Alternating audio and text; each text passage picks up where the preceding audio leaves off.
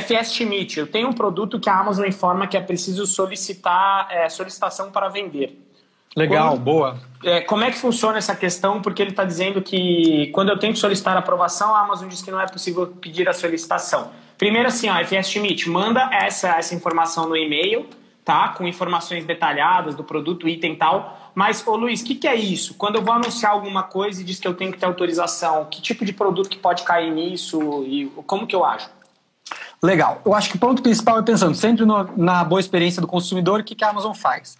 Produtos que têm é, alguma, algum ponto de, de falsificação, algum ponto, a gente pede nota fiscal de compra. Então, até para evitar isso. E até produtos que têm especificidades como suplementação alimentar, coisas, cremes de passar na pele, você tem que ter uma liberação da Anvisa ou você tem que ter uma, um alvará de funcionamento. Então, quando você sobe essa esse ponto dentro da Amazon, ele acaba fazendo a liberação também para o envio, tá?